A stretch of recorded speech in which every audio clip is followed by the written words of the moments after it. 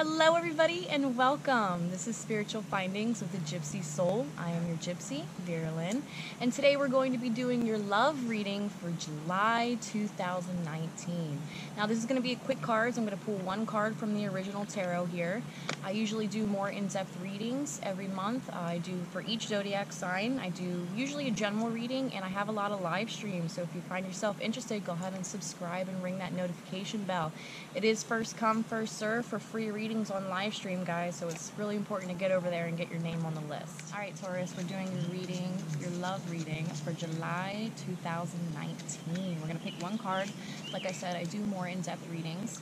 You can, um, you know, subscribe if you like to, hit that notification bell, because I do live streams too as well, and I offer free readings. It is first come, first serve, so it is important to get on the list first, okay? All right, so let's see what your card is when she pops out. You have the Queen of Pentacles here, Taurus. So it sounds like you might be a little bit too materialistic for this summer. Maybe that's what's been hurting your past relationships as well as keeping you from moving moving forward is focusing on finances focusing on your materialistic items um, or maybe just stressing with a residence to live I'm seeing that you guys kind of want to take a break this week, this summer. You know, go camping, go hiking. You guys are an earth sign. You need to connect with Mother Nature. Okay, so I want you to drop the financial worries.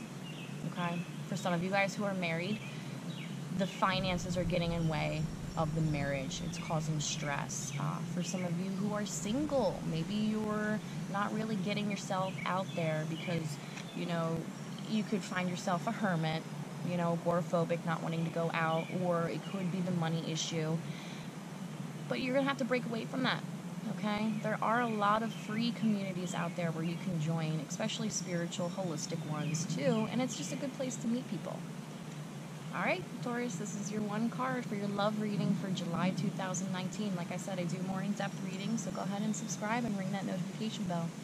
Alright guys, thanks for tuning in. This is Spiritual Findings of the Gypsy Soul. I'm the Gypsy, Vera Lynn. You guys have a beautiful